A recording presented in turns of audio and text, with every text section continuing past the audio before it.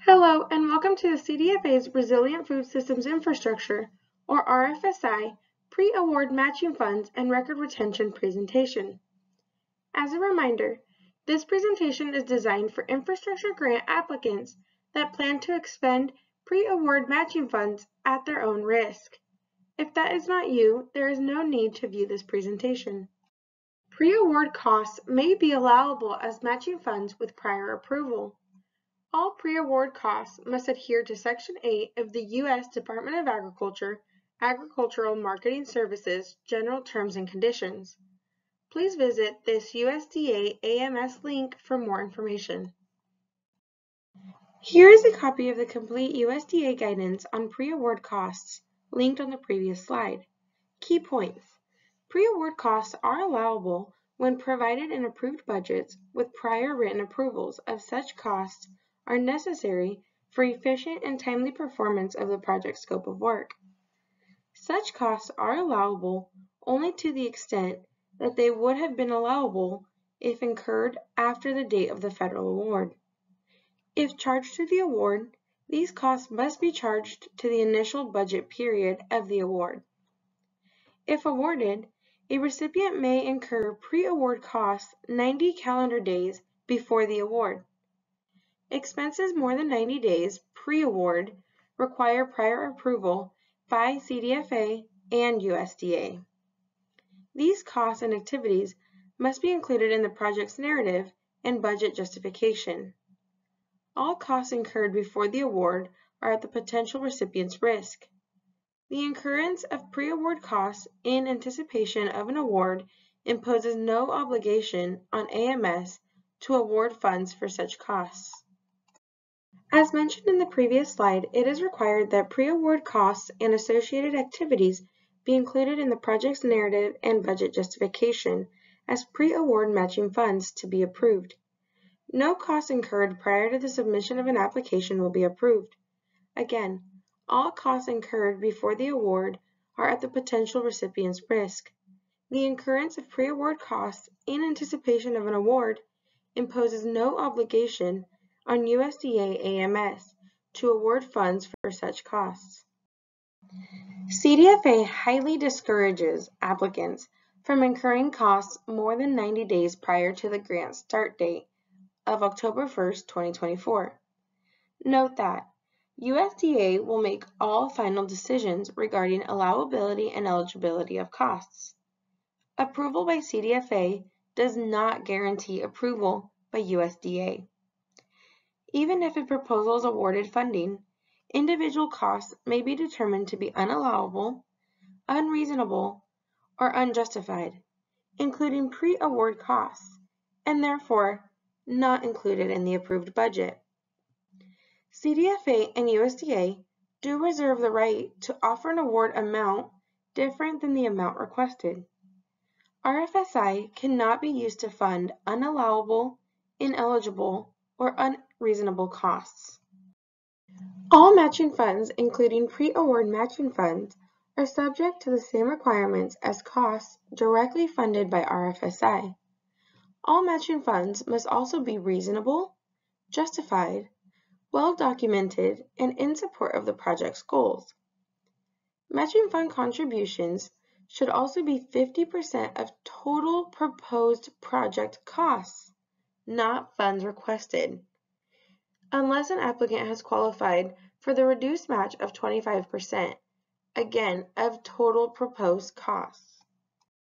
Requirements of pre-award matching funds include but are not limited to supporting expansion or improvements to the infrastructure of the middle of the food supply chain for California food and farm businesses and other eligible entities. This refers to stages such as processing, aggregation, and distribution. The commodities must be food system crops and products meant for human consumption, excluding meat, poultry, and wild-caught seafood. Funds from other state grants may be used as matching funds so long as the funds do not originate from a federal pass-through grant and are not committed elsewhere as a matching funds.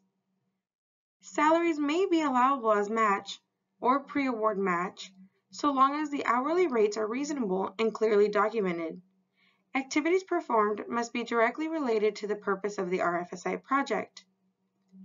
To speak a little bit more on the salary subject, while reviewing proposals, it has become clear that large and excessive costs associated with grant and project management have been requested.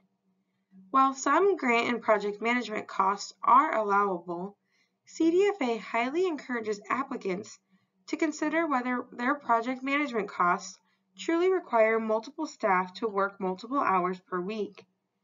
We have seen applications with three to five staff each working 20 or more hours per week on grant and project management activities. Remember that all costs must be reasonable and fully justified. CDFA will not approve excessive costs associated with grant or project management, whether classified as personnel or conceptual costs. One form of pre-award costs is pre-existing equipment, which can be used as match. The value of the use of equipment owned prior to the submission of an RFSI proposal may be used as in-kind matching funds.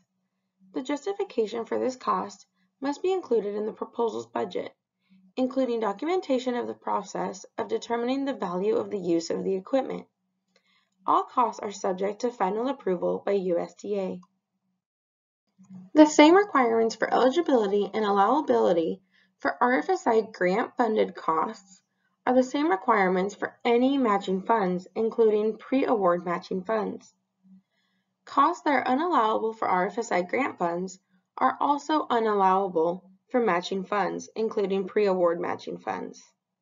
Sample unallowable costs include, but are not limited to, the purchase of land, entertainment costs, contingency or just-in-case costs, pre-harvest costs and activities, retail costs and activities, including direct-to-consumer activities or CSAs, marketing and advertising costs, standard operational costs and activities, or indirect costs charged as direct costs.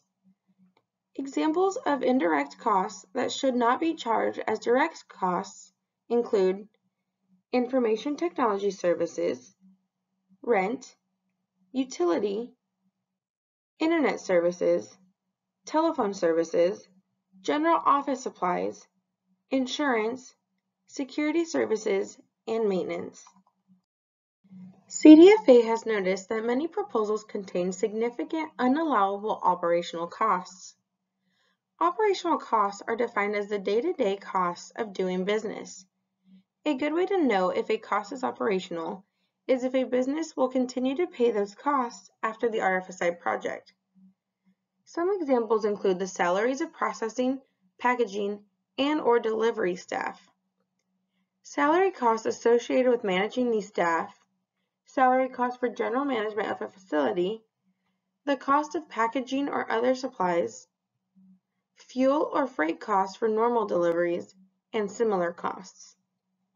While these activities are involved in the middle of the supply chain, operational costs are not allowable.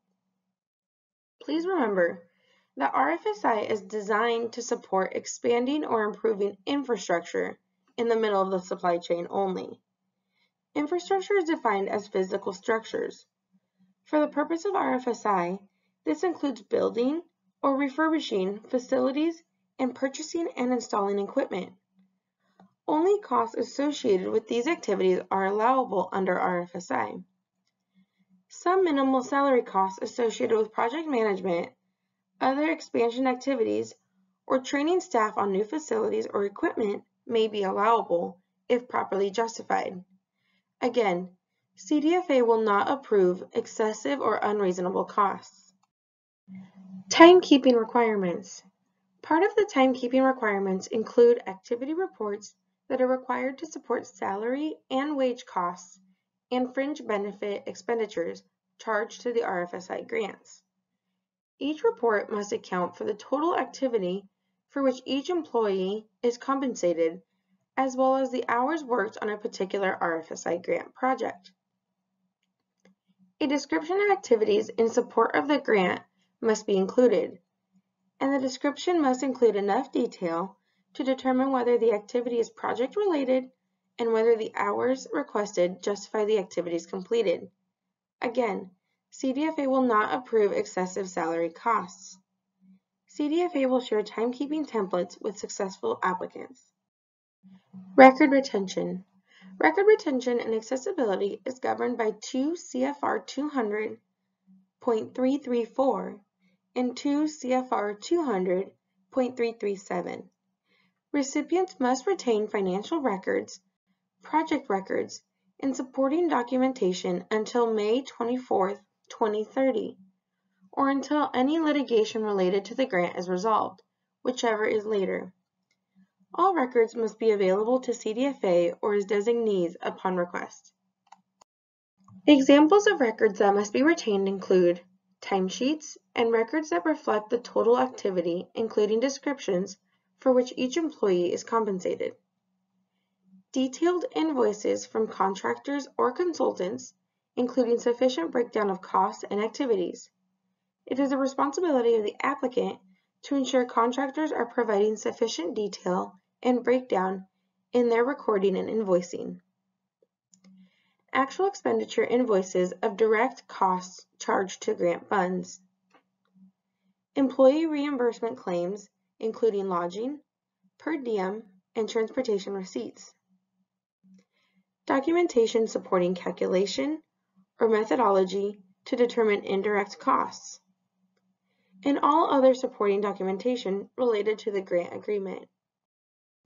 CDFA and USDA have such robust requirements for record retention because it is a crucial component during the grant duration, particularly during the reporting, site visits, and audit or review periods.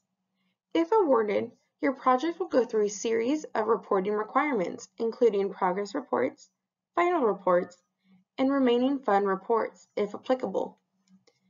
If awarded, the project will also undergo site visits and will also see audits, financial compliance reviews, desk reviews, or agreed upon procedures, which is dependent upon your project. In all cases, proper supporting documentation is needed to verify whether measurable outcomes are being met and that funds are being used for the intended purpose in compliance with the federal cost principles, the grant agreement terms and conditions, and the Grant Management Procedures Manual. So how should one retain these records? Proper record retention should include paper or digital copies of supporting documentation. This includes real and legitimate quotes, contracts, and timesheets with narratives for work performed. Clear descriptions of what the documentation is supporting, including in contractual invoices. And supporting documentation and records should be easily accessible and readily available. Under 36 CFR 1230.12, penalties for unlawful or accidental removal, defacing, alteration, or destruction of federal records or the attempt to do so include a fine, imprisonment, or both. That concludes the pre-award matching funds and record retention presentation. If you have any additional questions regarding these processes, feel free to unmute yourself to speak, drop a question in the Q&A box, or please submit them to grants at cdfa.ca.gov. Thank you.